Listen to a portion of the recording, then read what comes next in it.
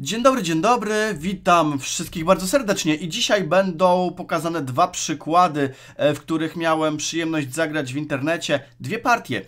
Pierwsza partia była z zawodnikiem grana na portalu Liches na jedną minutę na zawodnika, tak, ja wiem, zdaję sobie sprawę, że to jest... Bardzo szybka gra, e, ale od czasu do czasu sobie pyknę i przy okazji natrafiła się taka fajna perełeczka. Już wytłumaczę za chwilę o co chodzi. Moim przeciwnikiem był zawodnik o rankingu 2560 około, więc no totalnym amatorem on nie był, e, w ogóle nie był amatorem, e, ale po ruchach zauważycie, może zmienicie zdanie, nie wiem, zobaczymy. Uwaga, zagrałem ruch D4, przeciwnik zagrał F5, no to ja sobie myślę tak, gram buleta i szybciutko próbuję zastawić na niego pułapkę H3. Ja o tej pułapce już nieraz wspominałem, ale wspomnę po raz kolejny. Tutaj przeciwnik zagrał skoczkiem na F6 i gram G4. To jest taka nietypowa pułapeczka, może ona się czasem udać. Przeciwnik zbił pionka, jak już zbił mi tutaj piona, to, był, to jest super. E, najczęstszym ruchem jest ruch D5 i to jest e, lepsze posunięcie dla czarnych, no ale poszło inaczej. Tu po wybiciu HG, HG, FG, HG, skoczek, zbił na G4. Już wiedziałem, że jest dobrze. Zagrałem hetmanem na D3. Na czym polega ta pułapka? Otóż... Mój przeciwnik w tym momencie się troszeczkę zamyślił, dosłownie na kilka sekund, więc w partii buletowej to jest długo. E, no i jeżeli zagrałby skoczkiem na F6, no to by przegrał bardzo szybko, ponieważ z wieżą zbijam pionka i albo zdobywam wieżę, albo daję mata na polu G6. No więc pewnie to dostrzegł i zagrał skoczkiem na H6. Tutaj można by było zagrać inaczej, na przykład ruch G6. Jest taki ruch e, grywalny. E, przypuszczam, że można by było tutaj próbować grać normalnie, typu skoczek na C3, E4, ewentualnie goniec G5 próbować wiązać. Czasami mi taki ruch do głowy przychodzi jak wieża H7, które też nie jest złym posunięciem. Po wybiciu wybijam pionka, wieża się zasłania, biorę skoczka, jakiś posunięcie D5, no i na przykład hetman H5 z taką e, ciekawą pozycją, zwariowaną, jakość mniej, ale myślę, że Michał Tal byłby dumny. Jednakże w partii przeciwnik zagrał skoczek H6, no i ten ruch no, nie jest najlepszy, znaczy nie jest najlepszy, no jest e, słaby mimo wszystko, Najlepsze chyba było jednak zagranie e, G6, wspomniane wcześniej. No i tutaj w tej sytuacji zbiłem gońcem, e, pionek wybił i po prostu zagrałem hetmanem na F3 z groźbą mata. E, no bo tak mówię, gramy prymitywnie, to gramy. E, lecz dokładniejszym ruchem byłoby na przykład zagranie hetmanem na F5, ale to jest takie minimalnie dokładne, dlatego że czasami wieża G8 może się bronić i tu jeszcze pod ostrzał e, jest brany pionek H7, ale to myślę, że mało istotne w tym momencie. Zagrałem hetmanem na F3 i goniec zagrał na G7. No właśnie, ten ruch nie był najlepszy. Zdecydowanie tutaj czarne powinny jednak zagrać wieżą na G8 i próbować się tutaj zasłonić. Czasami brakuje tlenu, więc trzeba grać też posunięcie D5, ale kto by chciał tego króla wyprowadzać na spacer. Jednak goniec zagrał na G7, dałem szacha, król F8, wieża H3. No i zobaczcie, Figury lekkie zostały w obozie i zacząłem tutaj bawić się figurami ciężkimi, ale okazuje się, że to jest dobre posunięcie, dlatego że po prostu grożę zagraniem wieżą na F3 z konkretnym atakiem. W tej sytuacji mój przeciwnik zagrał król G8. Ja już w ogóle deklarowany ruch ustawiłem wieża F3, niezależnie co przeciwnik by zagrał, więc na pewno by to, na pewno by to działało. Jednak po król G8 e, mimo wszystko wieża F3.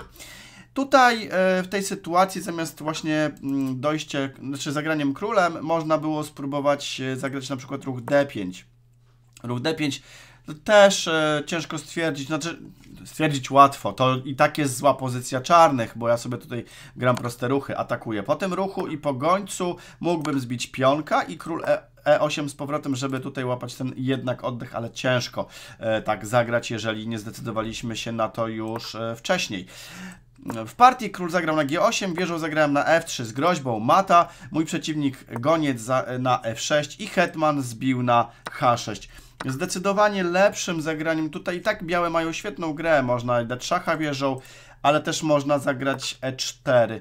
To się powinno narzucać zawodnikom szachistom, dlatego że grozi E5 ze zmiażdżeniem gońca i grozi na przykład goniec C4, czyli opcje na wyprowadzanie kolejnych figur. Jeżeli goniec na przykład zbił na D4, to też e, są niespodzianki pod tytułem hetman D5, ale kto by e, chciał tutaj dać szacha i wziąć gońca, jak można dać mata na F7? Oczywiście trzeba uważać e, za każdym razem. W tej sytuacji hetman jednak zbił na H6, to cały czas jest dobre, dobre zagranie. Hetman zagrał na F8, no i to jest ruch, który no niestety jest chcę powiedzieć słaby, ale tu ciężko znaleźć obronę dla czarnych. Nastąpił ruch wieża G3, no i król F7 był tym ruchem słabym, który powoduje, że króla wypędzamy na spacer.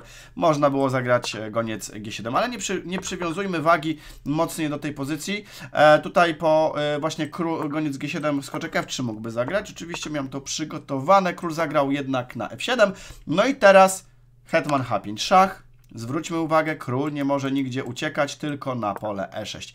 W tej sytuacji dajemy mata w dwóch, ale ja niestety tego nie zauważyłem, e, bo można było zagrać. No właśnie, pytanie do Was, jak można zagrać? Można sobie poćwiczyć, zatrzymać materiał. Mat w dwóch. Goniec H3 szach, król D6 i hetman c5 z matem. No ja tak nie zagrałem, ale zagrałem dosyć podobnie, wieża, znaczy podobnie, no zagrałem po prostu wieżą. Nie użyłem w ogóle lekkich figur w tej sytuacji, tylko e, mój e, goniec zbił skoczka e, w tej partii. Król zagrał na d6, no i tutaj mat w 15 ruchu na polu c5 wygląda niezwykle ładnie, oczywiście dla oka wygląda ładnie, można było tu się jeszcze bronić takim posunięciem, ale to już bez znaczenia, bo ja po prostu tutaj i mogę też gońcem zagrać, mogę to wybić, wziąć hetmana. Myślę, że bez większego znaczenia. Drugi przykład, e, tutaj Wam przygotowałem, miał miejsce w partii Startlet Tuesday, która e, film, film się oczywiście też pojawi e, i partię grałem z arcymistrzynią. 3 minuty plus 1 sekunda na zawodnika. Partia była bardzo zaskakująca i myślę, że to jeden z takich rekordów, które mi się udało osiągnąć przypadkiem oczywiście. I wyglądało to następująco. C4 zagrała arcymistrzyni. Zagrałem E5. No i teraz już w drugim ruchu mnie przeciwniczka zaskoczyła i zagrała G4. Ale ja przypuszczam, że ten ruch jest posunięciem, który był misklikiem, dlatego że y, zakładam, że białe chciały po prostu zagrać G3 i prawdopodobnie myszka się osunęła i poszła troszkę za daleko. Nastąpiło G4. I ja sobie myślę teraz w tej sytuacji tak. Dobra, jak wykorzystać to, że przeciwniczka tu popełniła błąd? No to zagrałem sobie D5 z szarpnięciem pionka i tutaj będę atakował pionka kolejnego. No dobra, tak też e, zagrałem. Przeciwniczka e, po chwili namysłu zbiła pionka na D5, no i ja już tutaj chwyciłem za gońca. Na szczęście w grze internetowej dotknięta nie musi się poruszać, więc go cofnąłem.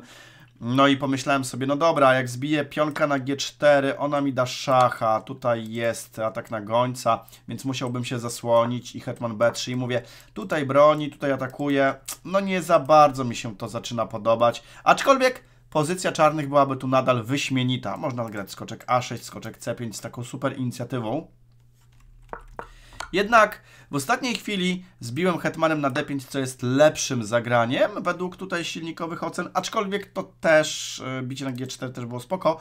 E, no i teraz sobie myślę tak, przeciwniczka nie zagra mi skoczkiem, a jeśli zagra, no to po prostu zbiję pionka e, i tutaj nawet po skoczku c3 zagram hetmanem na e6 i mam pionka więcej, grając czarnymi z arcymistrzynią w kilku ruchach. W ogóle wow. E, no ale tak nie poszło. E, moja przeciwniczka zagrała na F3. No ja sobie teraz szybko myślę, ale też e, szybko zagrałem, tak staram się odtworzyć sytuację, jak wyglądała podczas gry. Zagrałem goniec na 7 dosyć szybko. No i mówię, dobra, zagram tutaj za chwilę gońcem na H6, dam mata, bo te odsłonięcie jest nietypowe. I mówię tak, no dobra, arcymistrzyni zagra tutaj skoczkiem, a ja dam mata na polu H4. I tak się stało, moi drodzy. E, mat w pięciu ruchach z arcymistrzynią. No to było coś niespotykanego. Ciężko stwierdzić, czy na takim poziomie komuś w Title Tuesday udało się tak szybko dać komuś fizycznie mata, szczególnie, że jeszcze grałem kolorem czarnym, więc e, tempo mniej na samym początku. E, takie dwie ciekawosteczki z e, szachowego życia w internecie. E, dzięki za uwagę. E, piszcie jak najszybciej daliście przeciwnikowi mata. To jest na pewno ciekawa sprawa. Pozdrawiam, cześć.